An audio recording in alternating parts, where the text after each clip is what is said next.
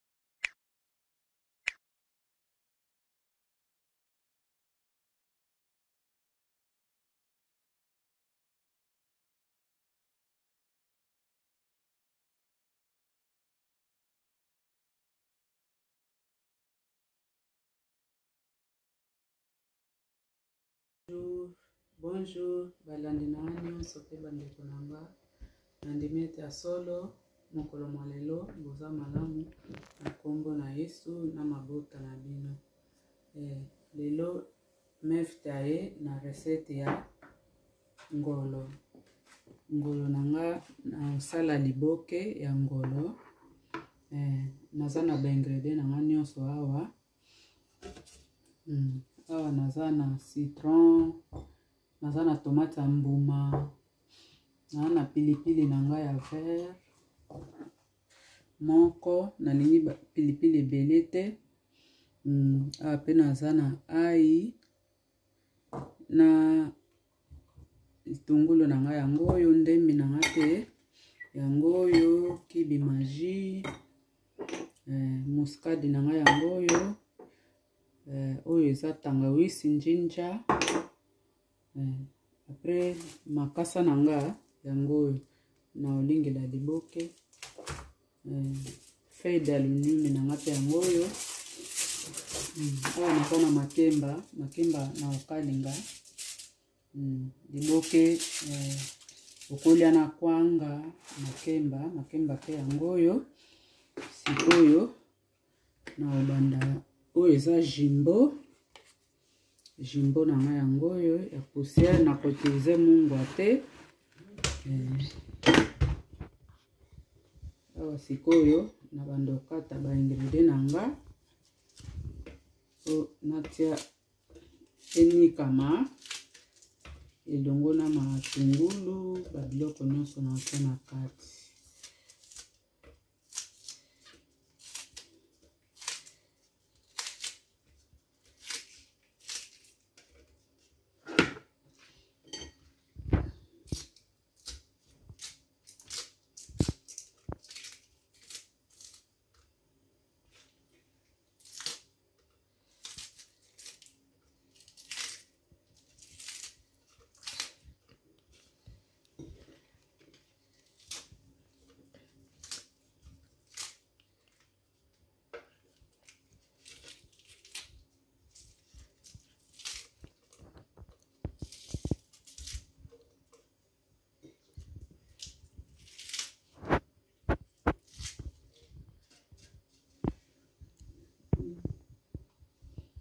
pilipili na nga mpe ekonikama yango oyo nakata ngo ya suka mpo maboko esoa te nakata matungulu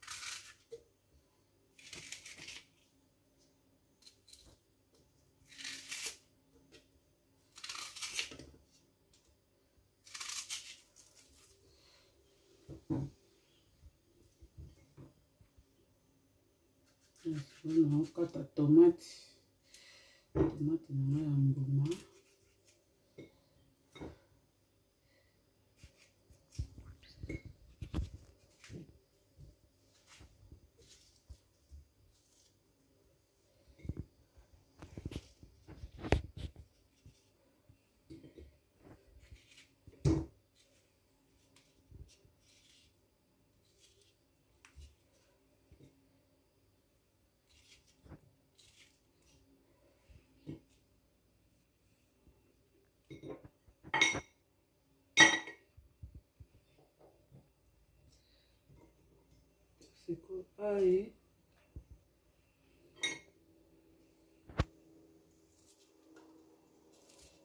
aye na nga eza organique eza na solo kitoko bamama bopona ba aya organique ba magasin ezali meme na asda meme na tesco nde mbeo natiki na otango likolo hmm, nasokola maboko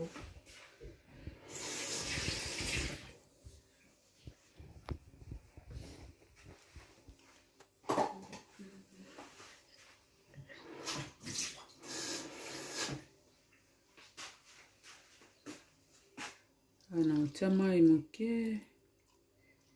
po ntango na kotia molinex emeka na komelange bien hmm. pardon mpo na makele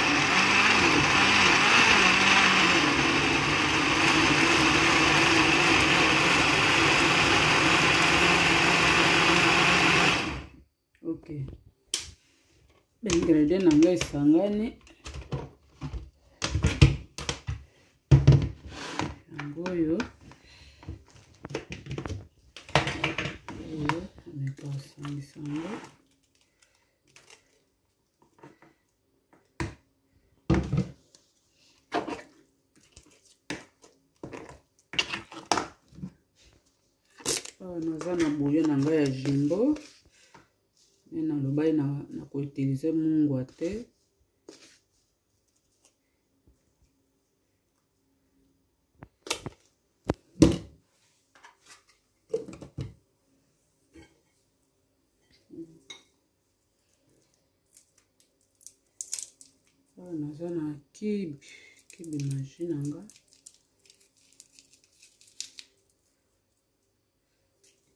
otiaka mibale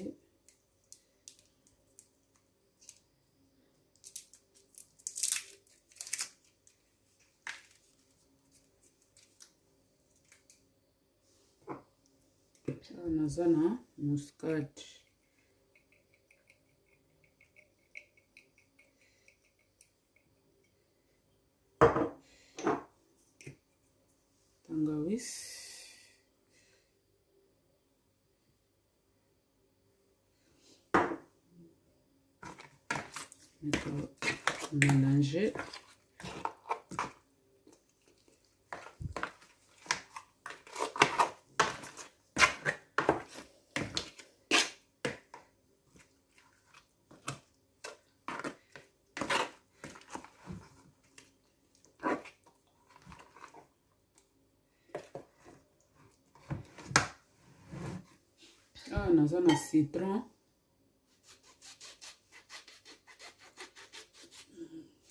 mpe na otiaka katikati nyonso te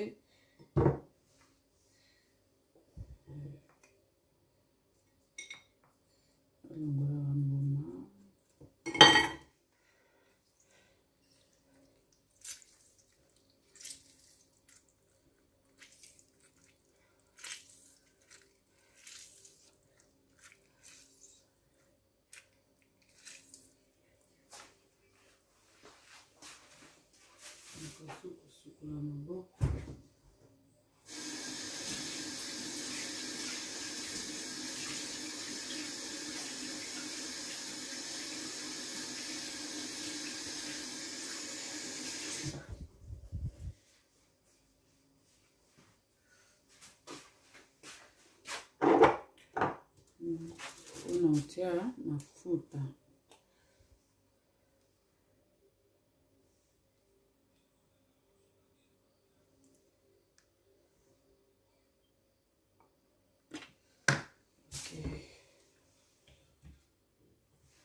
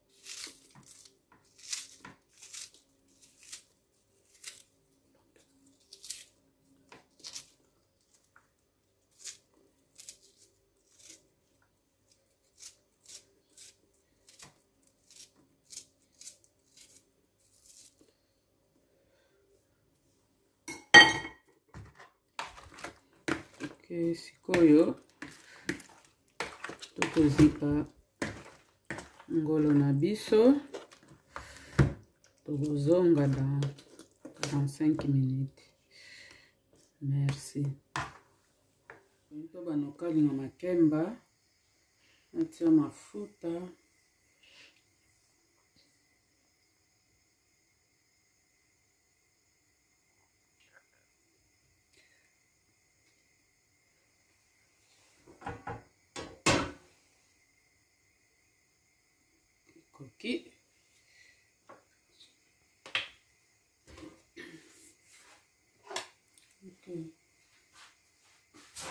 oyo tozongi kote oyo tobanda kokata makemba na biso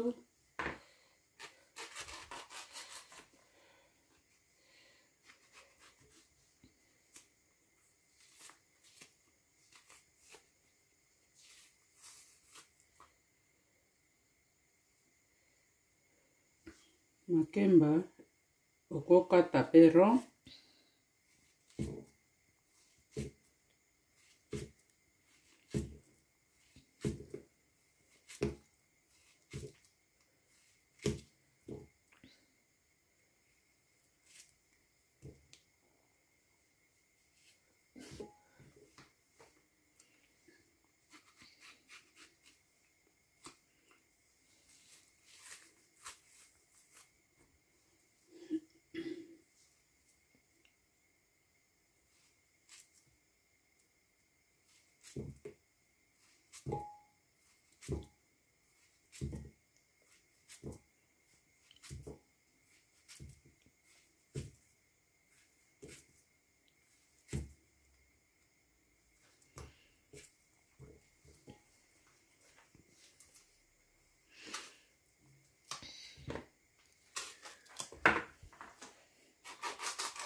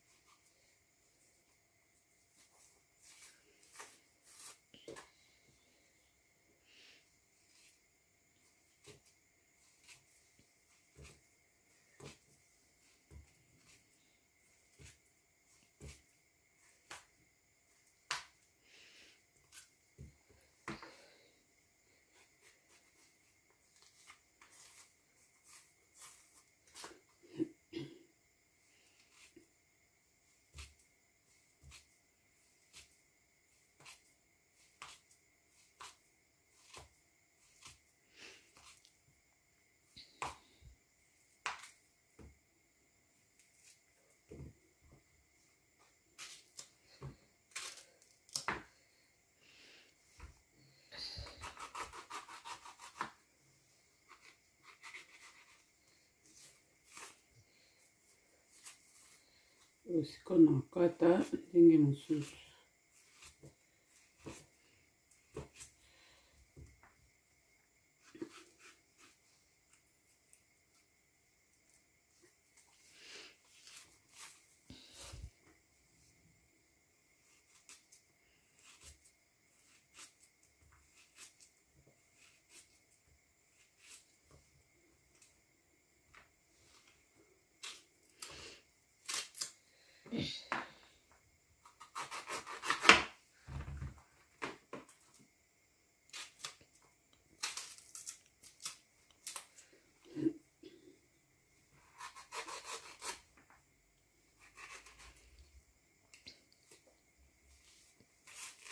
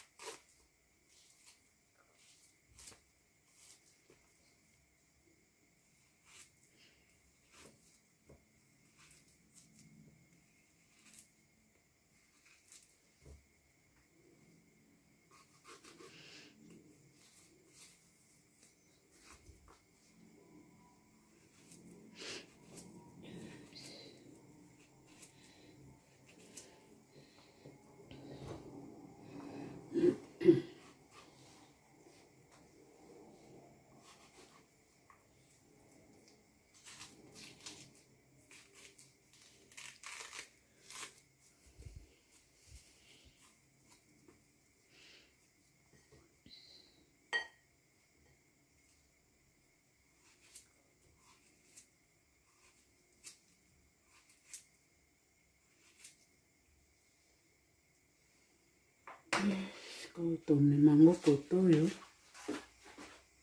tobanda kokalinga nasokola maboko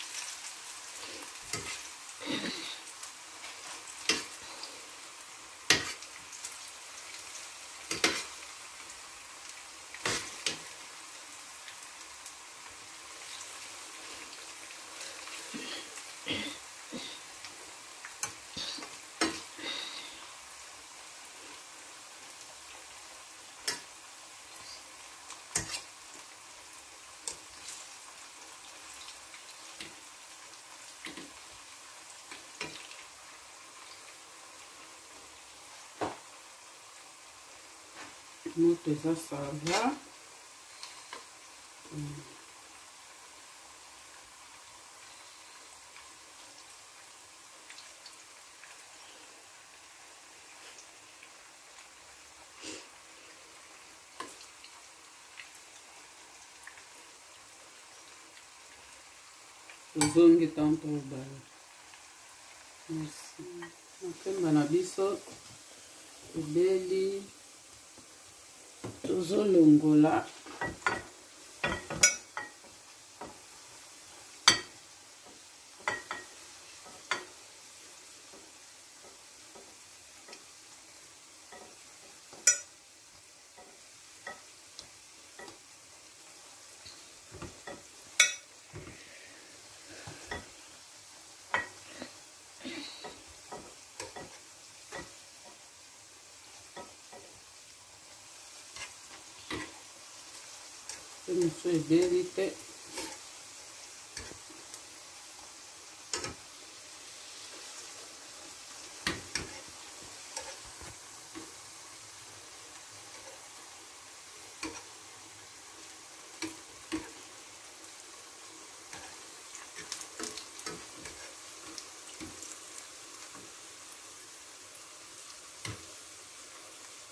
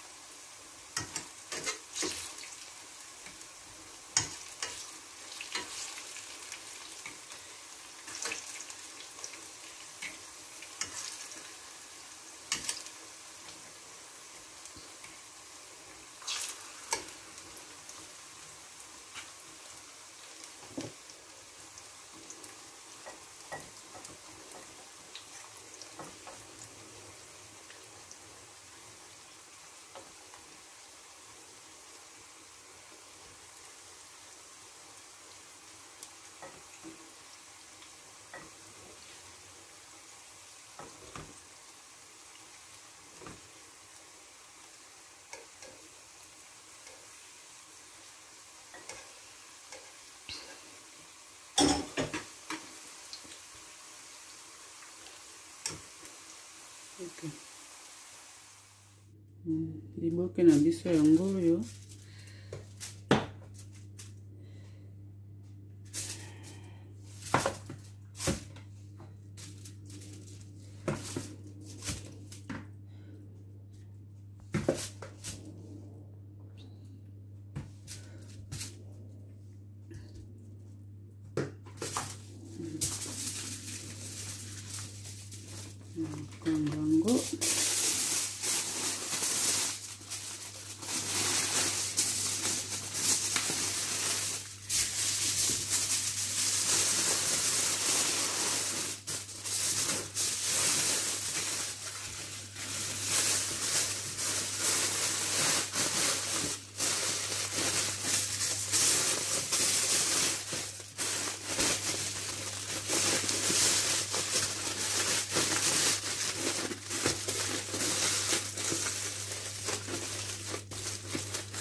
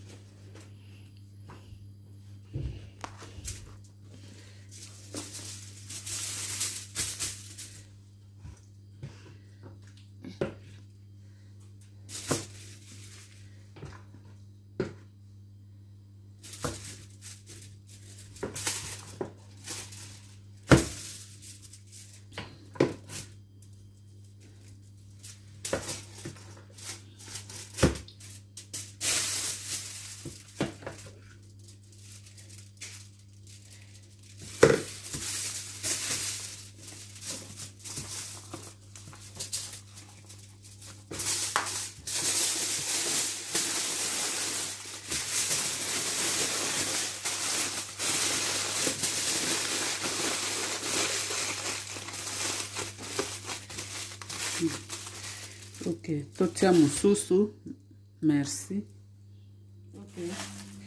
sikoyo naokotisa maboke na nga na four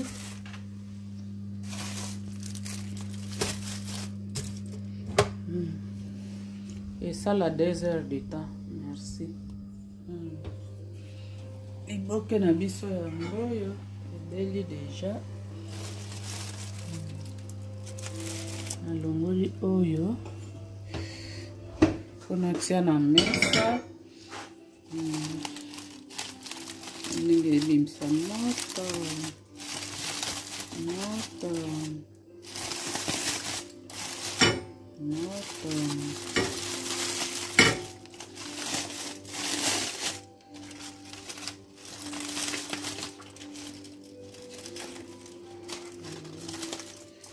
oyo liboke na biso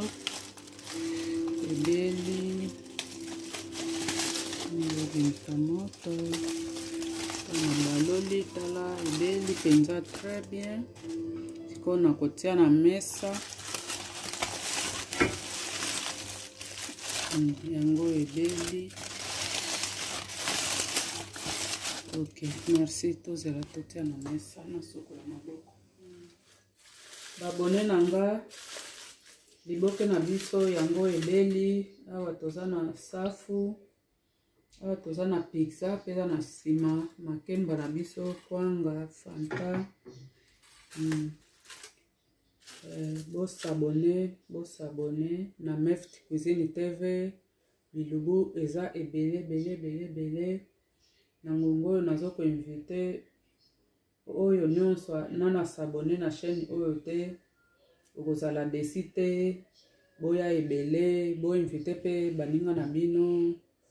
eh, basabode na mefte cuisine hmm. awa biloko eza ebele ebele ebele ebele hmm. lobi toza na surprise mosusu eh, tokolakisa kaka ndenge nalakisaka hmm. welcome to mefte cuisine today weekend saturday I have my plums, I have pizza, my Fanta, plantain fried plantain and I have a catfish. So if you didn't subscribe in this channel, please subscribe, like my videos, make your comments, good comments and share the videos to your friend and subscribe to my channel okay thank you see you for our next video